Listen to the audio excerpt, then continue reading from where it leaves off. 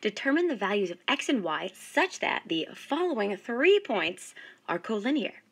So we have, we'll call this point A here is 1, 2, 3. Point B is the point 7, 4, 1. And we have point C, which is defined as x, y, 2.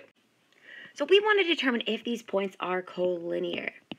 So thinking to ourselves, for points A, B, and C to be collinear, what do we need? Well, we need two vectors defined by these points to be scalar multiples of each other. So in other words, we need vector AB to be equal to a scalar multiple of vector AC. So let's find them. So here we go. We're starting with vector AB. So we have 7 minus 1, 4 minus 2, and 1 minus 3, leaving us with the beautiful final answer of 6, 2, negative 2. And we have vector AC, which here is defined as x minus 1, y minus 2, 2 minus 3, which leaves us with x minus 1, y minus 2, and negative 1.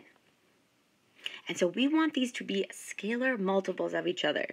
So we need to solve 6, 2, negative 2 is equal to a scalar multiple, c, of x minus 1, y minus 2, negative 1. And this is, of course, such that c is our scalar, a real number. So you may be looking at this and thinking to yourself, well, wait a second. This vector has a scalar multiple. And you're absolutely correct. It does. We could pull a 2 out and use that as our scalar multiple. But let's pretend for a moment that we weren't so lucky, that we didn't have this beautiful scalar multiple of 2 here. How would we solve that? Well, we still need to go ahead here and equate the like components and solve for the individual variables. So what, I, what do I mean? Equating your x components, equating the y components, equating the z components. Just don't forget about your scalar multiple in the front. So this will become three separate equations. We have 6 is equal to c times x minus 1, 2 is equal to c times y minus 2, and we also have negative 2 is equal to c times negative 1. And look at this.